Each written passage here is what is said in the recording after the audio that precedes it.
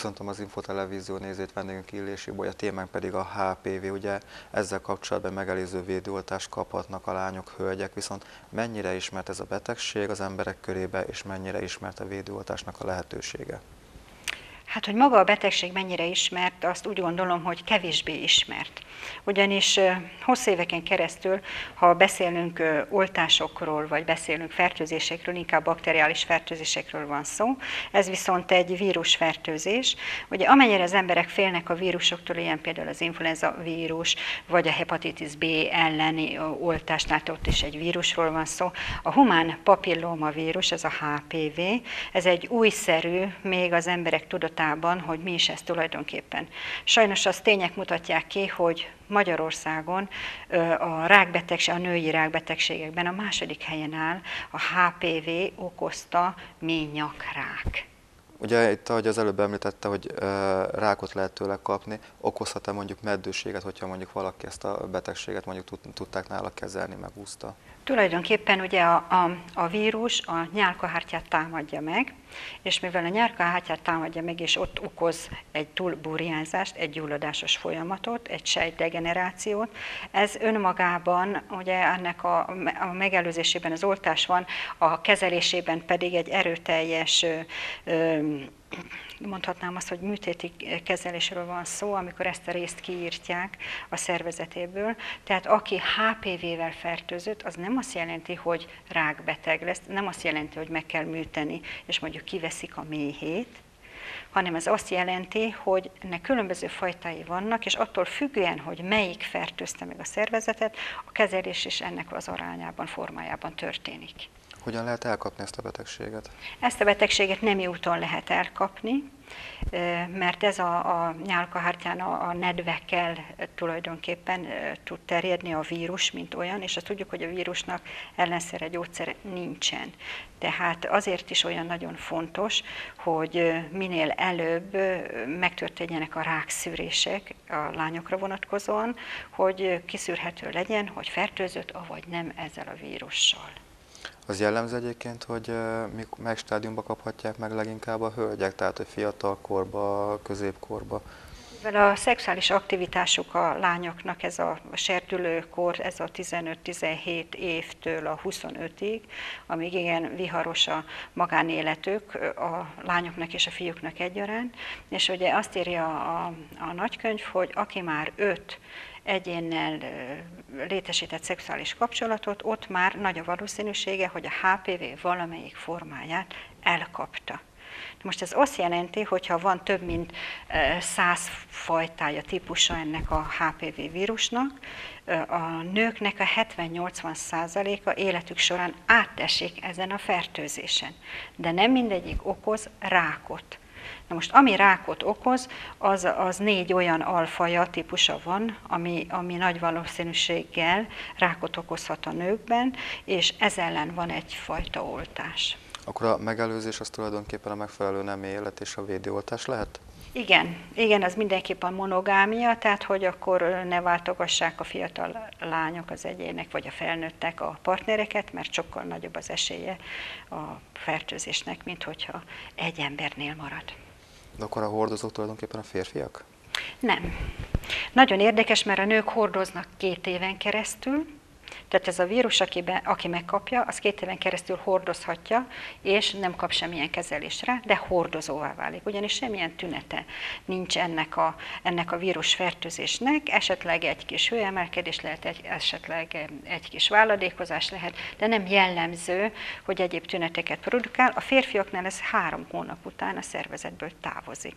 Tehát aki igazándiból ö, tovább fertőz, az a nő, ha nincs kezelve. Ugye ezt, ezt tulajdonképpen nem tudjuk megmondani, hogy most akkor a nőtől indul, ugye ehhez kellene egy szűrővizsgálat, amikor megnézik, hogy, hogy, hogy fertőzött ezzel a vírussal, avagy nem fertőzött. Na most ez kinézegeti. Ugye, amikor azt mondjuk, hogy a, a rákszűrés, mint olyan két évente, avagy három évente kötelező a nőknél, ahol esetleg megnézik, hogy van-e valami eltérés. Hát a férfiaknál meg hát elhajtani sem lehet őket, hogy elmenjenek az urológushoz, hogy egy ilyen tesztet csináltassanak.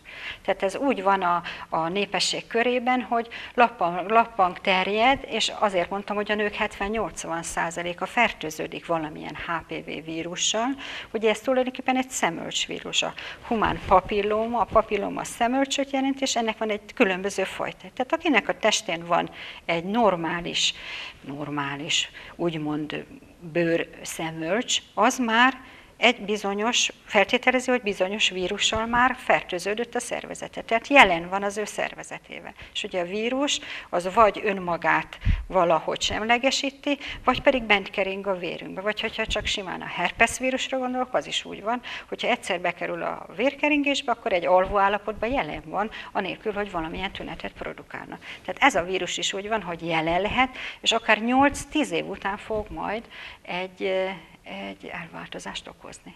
Tehát tulajdonképpen, hogy a HPV-től mentesek legyenek a hölgyek, az azért is nehéz, mert az életmód, táplálkozás, STB, STB nem segít rajta, plusz a felismerés csak egy szűrés lehet. A szűrés lehet, így van. Kik kaphatják meg egyébként ezt a védőoltást és hogyan? Hát eddig a védőoltást, mint olyat kérésre kaphatták meg a fiatal lányok.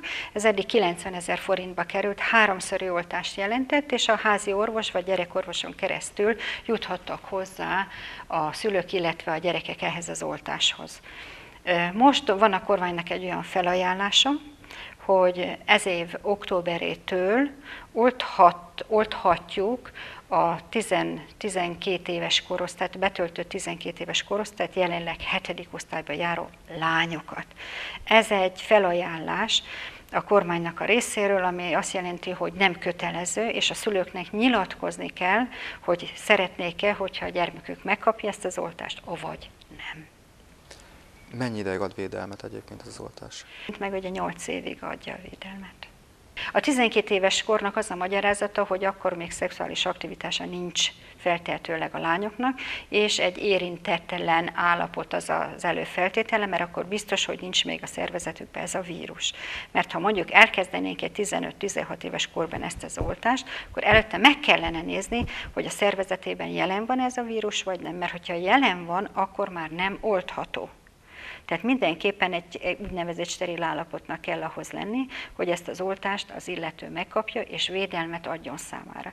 Ez lenne októberben, ettől az évtől, és majd március végén vagy áprilisban lenne ugye a második oltás, mert ez két oltásos oltásról van szó, és mindenképp kell hozzá a szülők beleegyező nyilatkozata, mert ez nem kötelező oltás, hanem egy ajánlott oltás, ami ingyenes. És mi, hogyha azt mondja a szülő, hogy lányom menj el, ő meg azt mondja, hogy nem? Hogyha azt mondja a, a kislány, hogy ő nem, a szülő, ha úgy nyilatkozik, hogy ő szeretné, hogyha a kislánya be lenne oltva, akkor bizony, mivel kiskorúról van szó, a, a szülői döntést kell figyelembe venni. Mi van akkor, hogyha a gyermek beteg mondjuk hiányzik az iskolából, de a szülő szeretné, hogy megkapja?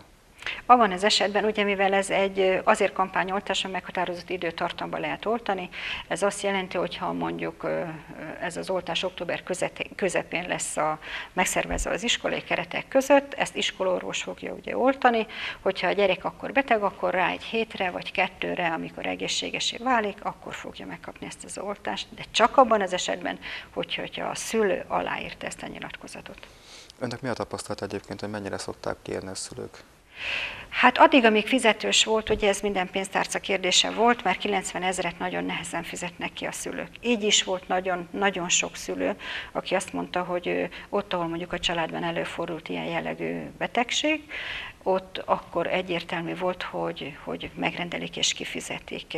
Jónak tartják ezt az oltást, mert hogy védelmet ad a gyereknek, és főleg, hogyha látják ezeket a riasztó adatokat, akkor meg azt mondják, hogy egyértelműen jó dolog. Köszönjük szépen. Én is köszönöm.